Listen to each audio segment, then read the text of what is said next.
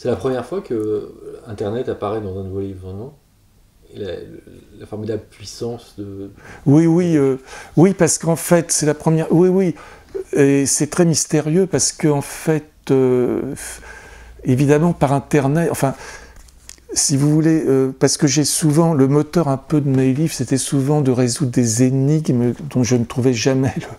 Alors évidemment, Internet vous met au pied du mur parce que vous pouvez quand même retrouver. A vous pouvez retrouver de manière immédiate ou avoir une réponse à certaines questions que vous posiez d'une manière euh, brutale.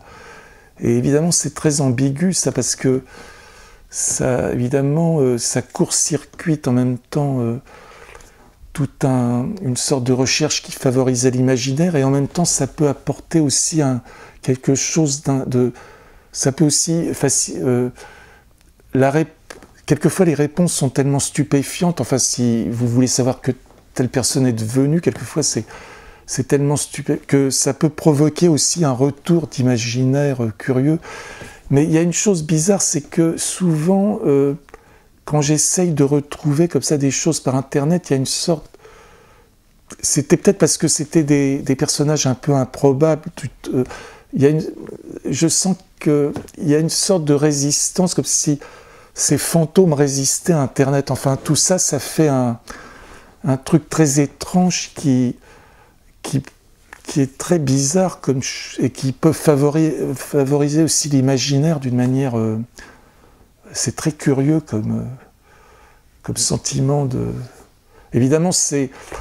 Parce qu'évidemment, euh, quand Internet n'existait plus, c'était des recherches très peut-être que inconsciemment, euh, je, voulais que la recherche n'aboutisse pas pour me permettre de, comment, de gamberger, enfin que l'imaginaire. Mais là, ça peut fournir une, peut-être bizarrement, euh, un autre, euh, comment, une autre, quelque comment dirais-je, ça peut vous pousser peut-être aussi dans l'imaginaire d'une manière différente. Enfin, c'est assez curieux comme.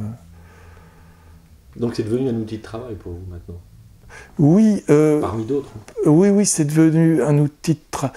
Et en même temps, quelquefois, je. Oui, parce que évidemment, on peut. Il y a des choses déroutantes. On peut savoir que telle personne. Vous... Parce que souvent, on se pose des questions que sont devenues. Enfin, euh, certains épisodes de votre vie qui n'ont pas eu de suite ou des choses qui sont restées dans, le, dans, dans une sorte de côté énigmatique. Évidemment, vous pouvez avoir une solution. Euh, c'est comme une radio.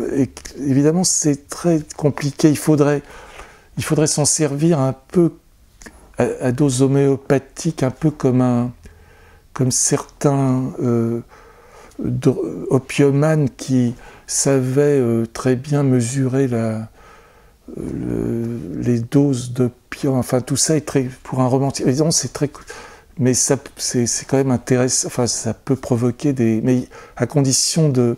Oui, comme un opiomane qui se sert de. qui sait calculer exactement la dose à laquelle. Euh, oui, oui, c'est.